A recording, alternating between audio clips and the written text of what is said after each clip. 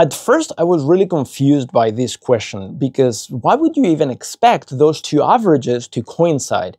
And then I realized that I didn't expect them to coincide because I have a concept, a deeper understanding of when linearity of this shape is preserved via this sort of operation. Here, what we're doing is we have a function, in this case, inversion. A is sent to 1 over A, and we're taking two values. We're using this function. We're doing the average of those two values, and then using the inverse function to bring it back to the original set of values and try to compare if the original average of the values and this average that I'm getting coming back and forth through that function, if those averages coincide.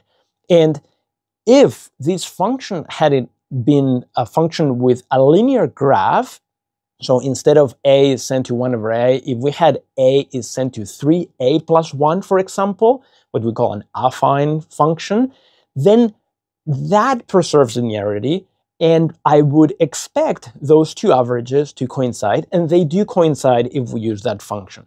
But if the function that we're using, for example here inversion, or we're using a function that is quadratic, like squaring, those functions that are non-linear do not preserve these linear properties such as averages. And uh, therefore, we do not expect these averages to coincide in that case. So what I'm going to do is explain algebraically why it doesn't work, and then I'm going to show you graphically why we do not expect it to work, and finally show you graphically a case where it does work uh, because it is an affine function. First, let me show you that it doesn't work in general algebraically. So here what you're doing is take a number A and a number B, invert them, do the average, and then invert again. If you simplify this expression, what you get is that that quantity is 2ab divided by a plus b, which is definitely not a plus b divided by 2 in general. So it doesn't work. Now let me show you that we wouldn't expect it visually either from the graph of 1 over x. Here's a graph of 1 over x. So let's find 1 over a.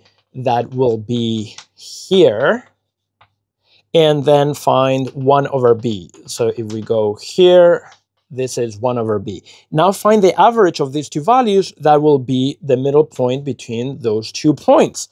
And now I can send this back. I want 1 over x of this value. So since uh, 1 over x is its own inverse, that lands here. And then you can see that it's far off from the average of the actual two values, so we see that they will not coincide. Now let's replace 1 over a by a squared, so by a squaring. What happens in this case? Uh, let's take a squared. This is a squared. Let's go and find b squared that is here. So the average of a squared and b squared will land somewhere here and now do the square root of this value.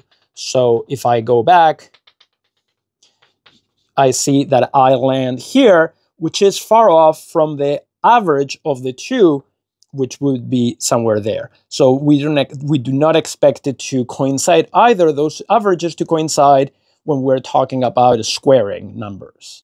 However, I do expect it to work for a function such as 3x plus 1. Let's try it. So if I compute 3a plus 1, uh, that will be somewhere here. If I compute 3b plus 1, that will land somewhere in here. And if I compute the average of the two, that will be here. And then do the inverse, which is uh, y minus 1 divided by 3, but it's just visually is here. And you see that I return to the point that is the average of A and B. So it works in this case as expected.